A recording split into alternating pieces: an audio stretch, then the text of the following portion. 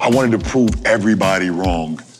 And I like literally lost myself in the moment. I lost Yeah. myself. Yep. And I got all the way to the championship that year and lost. And the reason I, I knew we, uh, afterwards, I was like, we lost because I wasn't, You start I, playing. I wasn't even there. You start Let's talk about the great uh, LeBron James. Why does my man lose? Like, let's let's let's just talk about it. Let's just talk about it. Um, he recently was.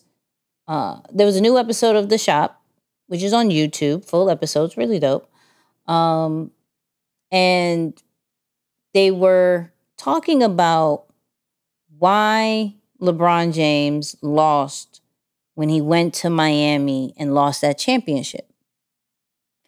And he took full ownership, but it was very interesting to hear what happened. So let's listen to it. You can't really give a fuck about what people say no more. Because everybody gonna f- critique everything that you do, no matter what you do. They can't creep into your mind, no matter if you believe it or not. It's wasted energy. Yeah, it's wasted energy. My first year in Miami, I was down there, like I was literally like, I wanted to prove everybody wrong. And I like literally lost myself in the moment. I lost Yeah. myself. Yep. And I got all the way to the championship that year and lost. And the reason I, I knew we, uh, afterwards, I was like, we lost because I wasn't, You start I, playing. I wasn't even there. You start So this is interesting to me because I'm petty, right? So my motivation is sometimes, not all the times, I'm working on it, people. I'm working on it. Um, is sometimes the doubt that people have of me or the ability of something to happen, I'm going to be like, Mm-mm, nope, I'm gonna show you, right? But I never thought of it in a standpoint that it's so much in your head that is actually the obstacle of you really accomplishing anything that you want to do or proving them right because you're so much involved with what people are saying that you completely lose focus. And I I like that he said, yo, that that was all me. That that loss, why we didn't win the finals. I know exactly what happened. It was because I allowed people to get in my head and not win because of my team, not win because we made it this far. I'm trying to win to prove them wrong. And that shouldn't be the the purpose. What is the real purpose of why you're doing what you do? And continue to stay focused on that. What people are going to say is always going to fluctuate. They could like you one day, they could hate you the next, then they love you, and then they want you to die the next time. I'm very dramatic, but it is true. It's very true. So with with that in mind, you can't depend on unstable support. You can't depend on an unstable motivation. Like the purpose has to always be in play. And once he like figured out like yo, I'm not I can't listen to y'all. I got to do this because of a bigger reason. And then it started to make sense and he won championships in Miami after that. That first year was a little rough. But we it, it- it's so much and I'm not going to play like it's it's a it's easier said than done to say, "Yo, don't listen to people." Like especially going back on what Tyler said where, you know, bump the sneak peek and everything like that. But we are in a audience experience like kind of vibe. Like some of our brands, yeah. So some of our brands are created around that. Now, in order to uh sell tickets sometimes, you gotta cater you you gotta cater to the audience, right? Now, when it comes to a sports standpoint, the only way you can cater to them if you continue to win. right? So it's not it's not like um no, it kind of is. So in boxing, if we think about Floyd, if we thinking about Bum Floyd, if we think about a Logan Paul, if we think about the Paul brothers, some of us are going and buying pay per view or going over there to see if they lose. Right? But it's because they continue to win, is why now we're going to this to to purchase to see if they lose. So you still have to continue to win and understand as you grow, there are going to be haters. There are going to be people who are not going to agree with what you do and what you say and how you go about it. That's as you go. In the beginning, it's sweet because you get all the support. Then you grow and then you start getting support from people you don't know. That's a different feeling. But eventually you're going to get to a point where it's like, yo, I don't, I don't really rock with you. I don't like, I don't like how you do this. I don't think you can do this. That's never been done. Boo hoo, what, all this stuff, right? And it's more of, yo, what's, what's the goal? What's, what we doing? Why are we here?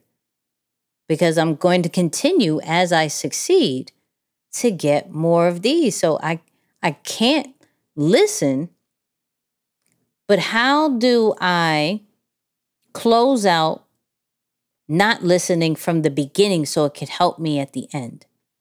Yeah.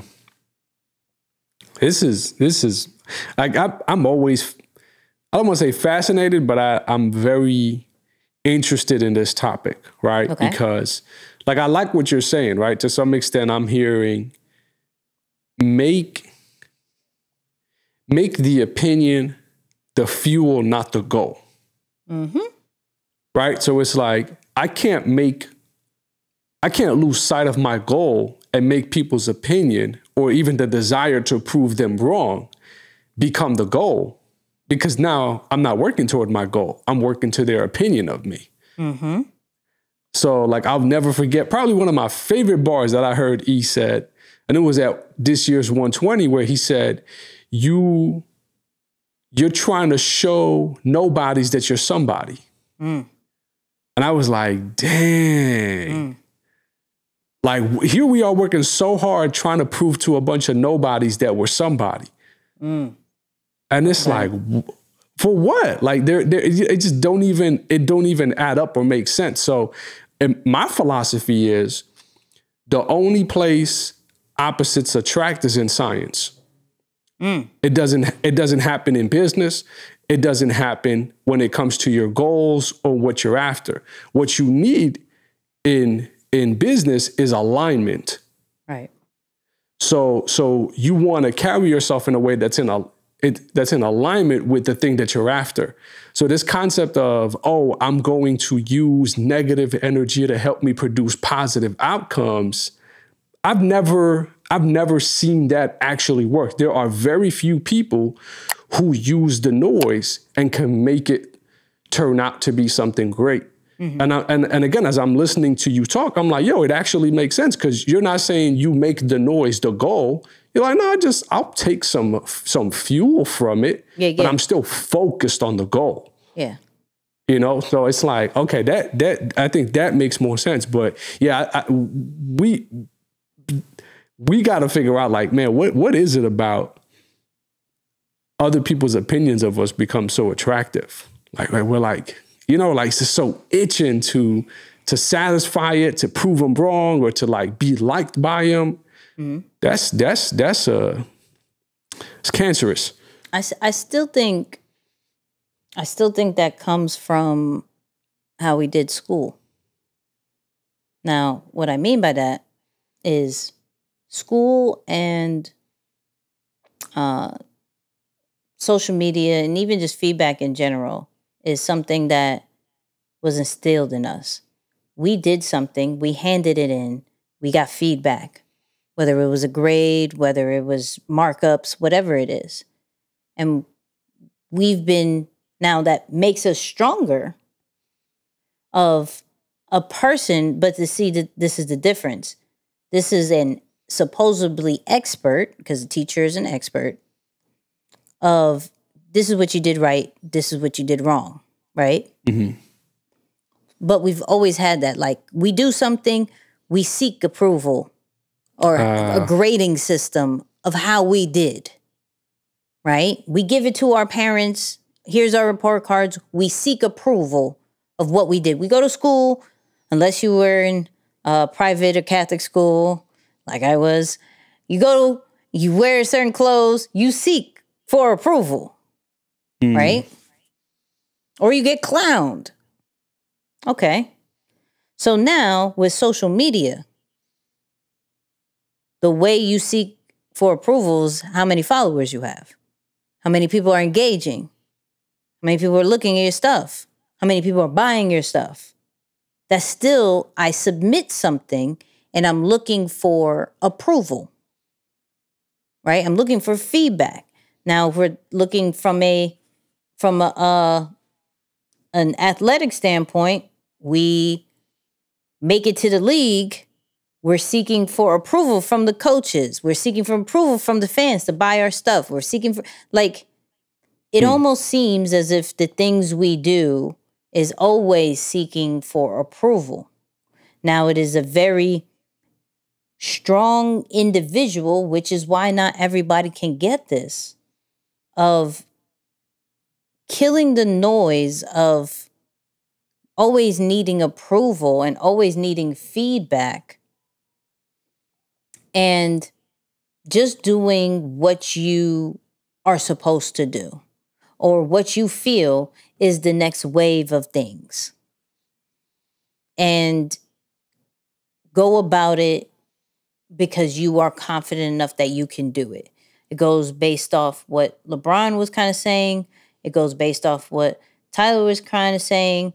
Like, there still needs to be a level of confidence that okay, it'd be great if you you liked it, but I, it doesn't sway me one way or the other because I understand the goal and the results that I need to get. So this is great if you do like it. This is great if you're on my team. This is great if you support the project. This is great if you support the team but I don't hmm. need you. And that's very hard for some people because since we were young, we were seeking for approval. Yeah, yeah, yeah. That's deep. That's deep. When you tie it, when you tie it, you know, into the root that far back, it's like, yeah, we were literally trained to have somebody say, "Yes, okay, good job." You know, like that's that's that's crazy. Just a thought. Just a thought. Just a thought.